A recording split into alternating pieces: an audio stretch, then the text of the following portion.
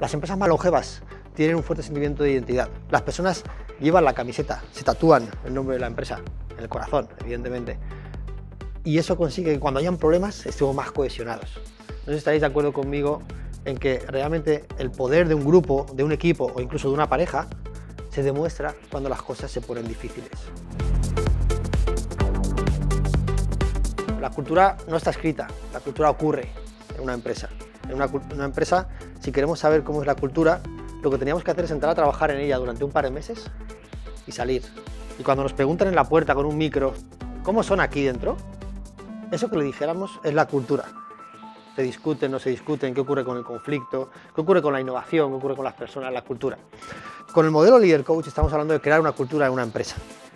De crear una cultura en una empresa, de conseguir que las empresas cambien el chip, especialmente desde la dirección, para implantar un modelo de desarrollo de personas. Identificamos tres culturas bastante diferentes con respecto al liderazgo dentro de las empresas. Una de ellas es la que conoceríamos como una cultura de autoridad. ¿Estáis todos de acuerdo conmigo en que hay empresas que todavía funcionan así? En esta cultura tú eres un buen líder si conseguías resultados. ¿Cómo? Búscate la vida a cualquier precio. Es que tengo que matar a alguien, matas, no pasa nada. tengo que vender a mi madre, la vende, no pasa nada. Estas cosas, ¿no? en una cultura de autoridad los resultados se consiguen a cualquier precio. Tenemos una cultura de orientación a resultados en la cual parece que todo está muy procedimentado, muy reglado, mira, esto es así, esto es así. No está nada mal, no está nada mal. Aquí eres un buen líder si consigues resultados. A cualquier precio no, tienes que conseguir resultados.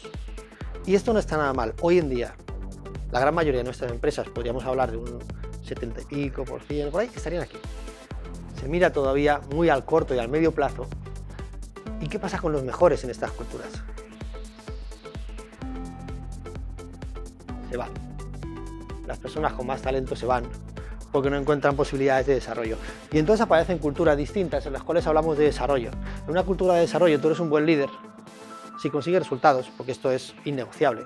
Y si además desarrollas personas, si además las personas de tu equipo son mejores cada vez, si además en tu equipo la gente promociona hacia arriba, si además estás dándoles herramientas, estás creando habilidades en ellos, estás cambiando la actitud de tu equipo, estás ayudándoles a gestionar el cambio y las personas, además de conseguir resultados, se sienten mejores y van hacia arriba.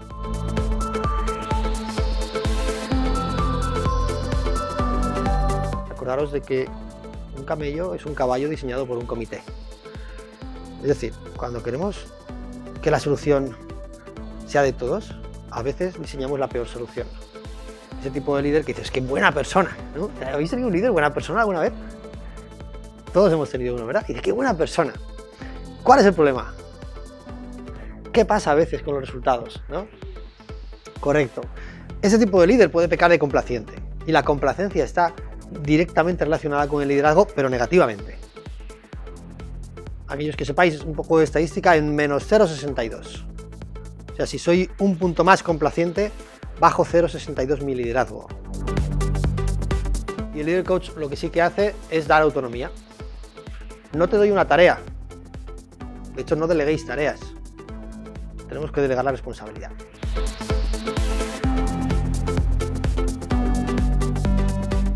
cada vez que ha habido un líder visionario en la historia hemos visto cambios como Gandhi, la Madre Teresa, Nelson Mandela ¿no? a nivel político, pero también en las empresas tenemos líderes visionarios, ¿no? tenemos un Richard Branson que es el presidente de Beijing, que es uno de los líderes más visionarios hoy en día, tenemos un Elon Musk que quizás sea la persona que más esté cambiando el futuro de la humanidad. Qué pocos líderes conozco que dediquen tiempo a pensar. En apagar fuegos, la mayoría. Y a pensar, muy pocos. De hecho, no está bien visto hacer que las personas hablen de sus objetivos es la mejor forma de motivarlas. Bucear con el tubito, ¿no? Entonces, para bajar a 4 metros tienes que, tienes que bucear, entonces bajar a 4 metros es tener empatía. Tienes que, para ver el fondo, tienes que bajar. Eso es empatía. Estoy viendo el fondo, lo bonito que es todo, el mar, los peces, qué bonito ahí abajo. Pero si me quedo en la empatía, me ahogo.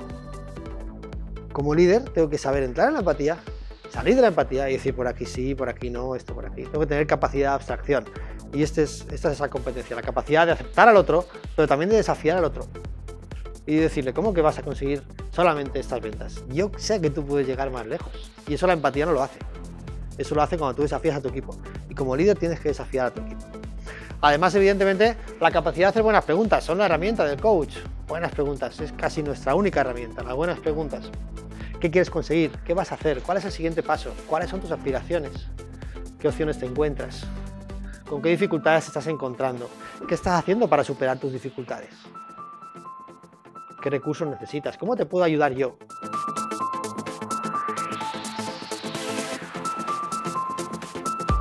El objetivo, el objetivo como líderes es que seamos prescindibles, que no hagamos falta. Esa es la misión de un líder. ¿Qué teníamos que cambiar? ¿Qué tenías que cambiar tú para que brillen los ojos de tu equipo? ¿Qué tienes que hacer tú para que tu equipo tenga una mayor sensación de que está avanzando y evolucionando? ¿Qué tienes que cambiar tú para conseguir asegurar el futuro de tu empresa, está comprometido actualmente y que o piensas en los próximos 10 años o es posible que no llegues ni a los próximos 4?